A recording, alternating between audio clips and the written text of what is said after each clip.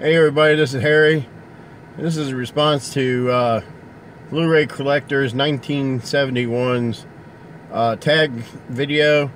Uh, the five of my favorite James Bond films. And uh, anyways, let's let's get started on it. Um, I'm a Bond fan. I, I grew up.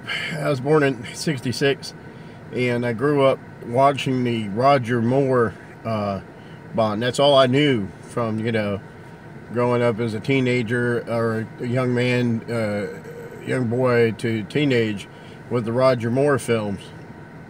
And it was didn't know until uh, oh, when was it? I guess around the time Octopussy came out, there was a uh, James Bond film that came out uh, with Sean Connery. Never Say Die. I can't I can't remember the name of it, but anyways, it came out at the same time, and it kind of was on the news a lot.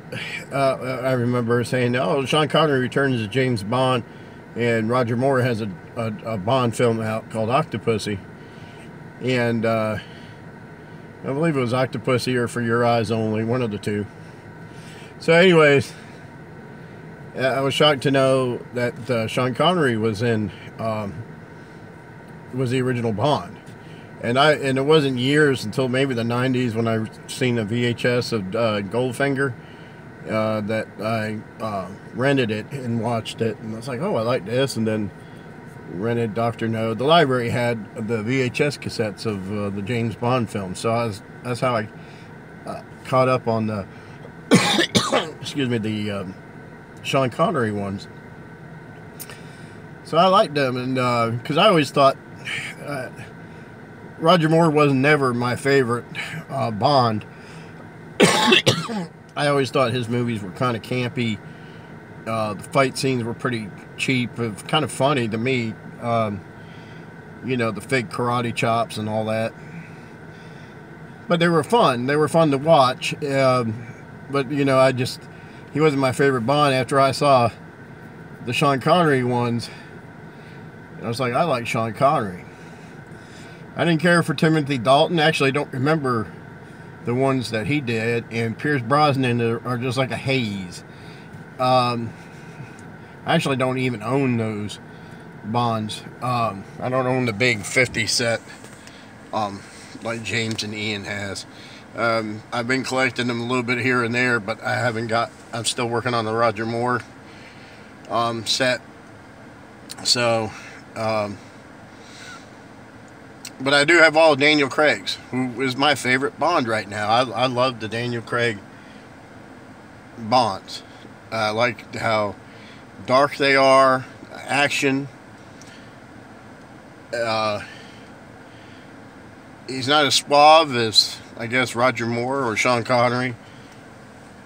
But, yeah, Daniel Craig, when I say Casino Royale, I just flipped out. I, I still to this day like watching that movie. I'll put it on and that chase scene in the beginning when they're running on the cranes and stuff like that.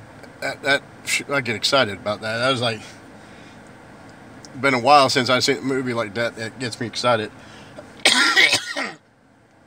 get up in the theater and, and shout and stuff. As you can tell, I've been I got a cold Monday. Right after I did my Maryland video, I got sick. Excuse me. So, here we go again. So, so I'm going to just give you, make this quick. Um, my top five Bond films that I, I like. Uh, number five, uh, Roger Moore's first uh, Bond film, Live and Let Die is is the, the fifth one for me. Um, classic theme song by McC Paul McCartney and Wings, uh, "Live and Let Die." Uh, I think that's how you say his names and that. Just great. I like the voodoo uh, theme of it. It was um, James Bond goes black exploitation, black exploitation. In that one, Jane Seymour is the Bond girl